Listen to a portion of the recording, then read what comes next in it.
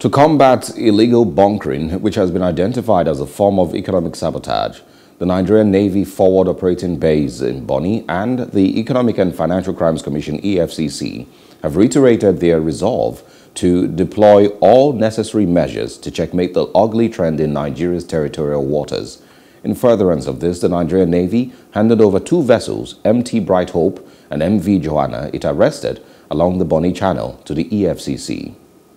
Commanding Officer of the Nigerian Navy Forward Operating Base Bonny, Captain Rafiu Oladejo says both vessels were arrested on Wednesday, July 14 and Saturday, September 10, 2021, respectively, for their involvement in crude oil theft, possession of illegally refined automotive gas oil (AGO).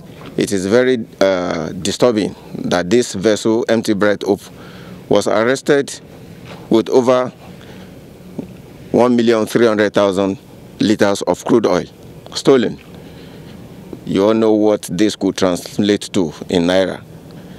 The same vessel, in some of its compartments, was arrested with over 62,000 liters of stolen AGO. Captain Oladejo says MV Johanna 2, which was identified as a supply vessel flying Nigerian flag with 12 crew members, was arrested by his operatives at the Bonny Fairway Buoy with 394,000 liters of AGO without the Nigerian Navy approval and with its automatic identification system switched off. On his part, representative of the EFCC, Arasa Shaka, said investigations would be conducted to ascertain the offences leveled against them while prosecution will follow afterwards. The Nigerian Navy in particular, which I represent, has ensured that using available platforms, that is uh, both in the right mix and with the necessary guidance from the leadership of the Navy, has ensured that we will continually destroy these illegal refining sites so that we will prevent the perpetrators from regrouping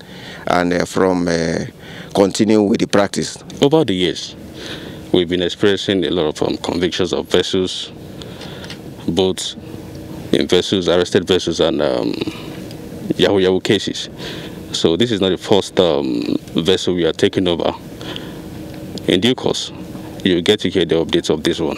Captain Rafiu states the vision of the current Chief of Naval Staff, Vice Admiral Awal Gambo, to deploy all necessary measures to curb economic sabotage. Hello. Hope you enjoyed the news. Please do subscribe to our YouTube channel and don't forget to hit the notification button so you get notified about fresh news updates.